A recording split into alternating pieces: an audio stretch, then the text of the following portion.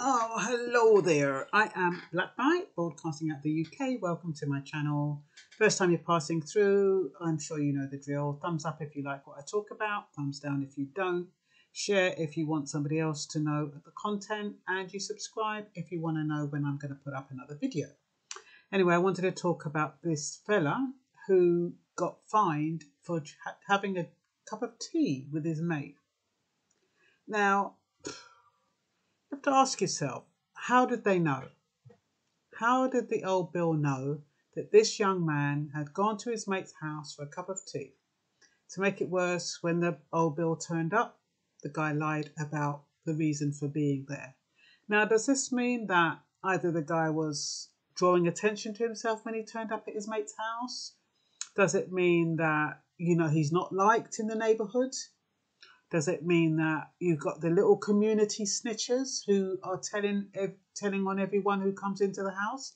Because the thing is, you can have a cup of tea, but just not in the house. You need to be in an open plan or an open area.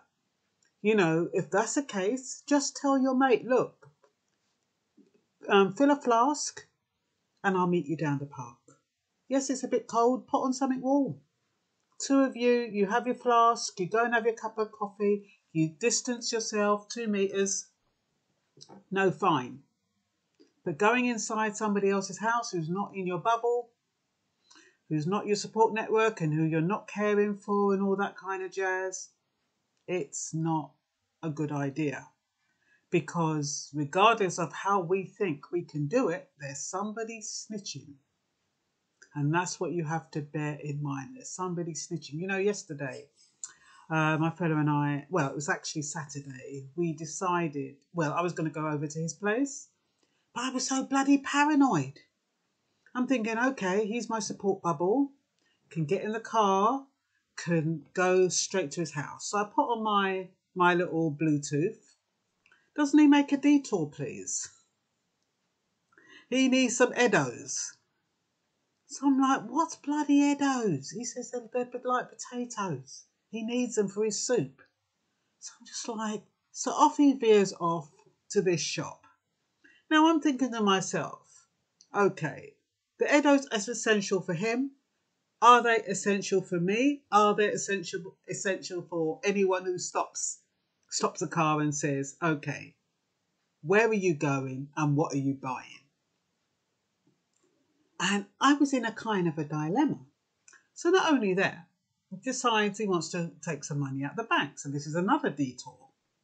So what I'm trying to say is, is that this essential, well, going to the bank is an essential. They consider that essential. So that's fine.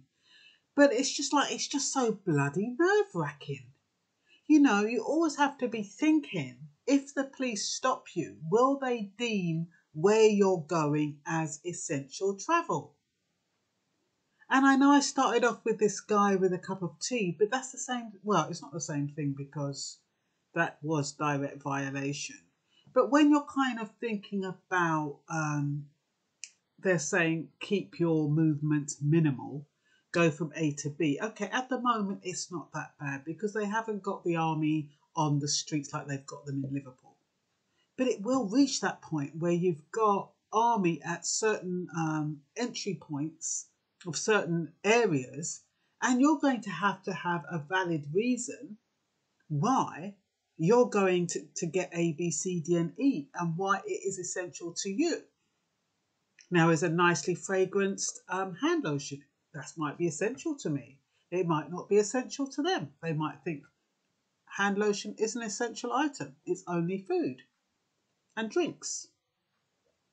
So it was kind of, um, and then thank God, well, I don't know if it's thank God, but you know, when you've got this Bluetooth on, it, it you know, the battery um, uses up the battery. So my phone just crashed anyway. So the whole point of me allowing it to track and trace, just in case we need it in the future to say, okay, this is my support bubble, that evidence was gone anyway. Because that was the whole point of me turning it on. I wanted to make sure I could go and see my support bubble if I, you know, as and when. But it kind of failed me anyway, that system. but yeah, um, what else was I gonna say? I wanted to keep these three short and sweet. Yeah, with the guy with the um, the tea, like I said, you're not allowed to meet with family and friends indoors. Okay, so I think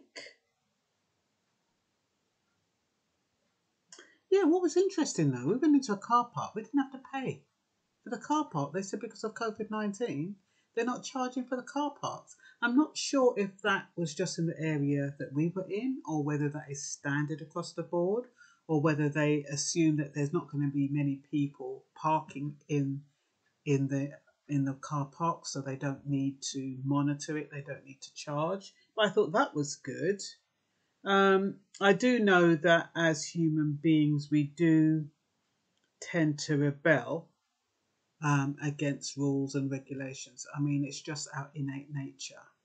Um, but yeah, I am trying to be a good girl. I am trying. It is hard. But yeah, and I was also wondering, you know, like if you if you've got a partner and that partner's got a child and you he asks you to accompany him to take his child back to his mum, which is in a different area, that would be essential for him, but would it be essential for me? Let me know your thoughts on that one. Because if you're a couple, do you then become a couple to take that child home? Or because I'm not his biological mother, is that then deemed non essential? Is there anyone who could answer that for me?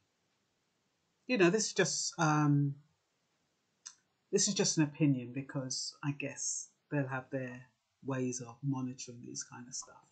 Um, but I was just kind of thinking whether or not that would be deemed essential or non essential. Anyway, let me know what you think. That's all for now. Bye bye.